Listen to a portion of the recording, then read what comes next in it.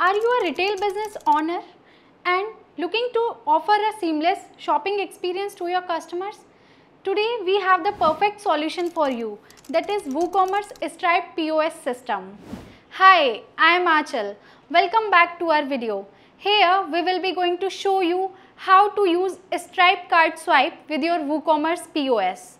This is a great way to accept cards in your store. In order to do so, you need to integrate the WooCommerce POS terminal connector with your store.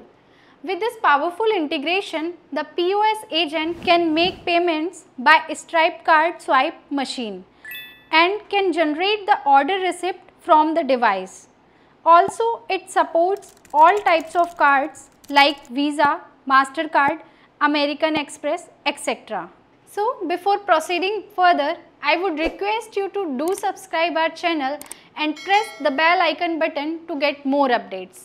Now, let me show you how the sales agent can able to make the payment by using the Stripe card swipe device. As you can see, I have set up a small demo all around for your better understanding. And here I will going to show you the complete flow of Stripe card swipe process with WooCommerce POS. And you can see our customer is reaching out to us for the shopping. Hi sir, welcome to our store. Hello. And here I will going to show you the product scanning process. Now I am scanning the product as you can see, I have scanned products one by one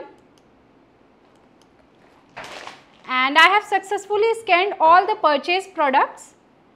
Now, further you need to tap over the pay option and it will redirect you to the new page from where you can see the complete order details along with the total payable amount as well. And as I have already installed the POS Stripe reader with my WooCommerce store, so it is already visible over that particular page. Now for the payment process, you need to tap over the total number of amount and after that you need to tap over the confirm payment and generate invoice and accordingly it will ask you to swipe a card. Sir, please provide your card.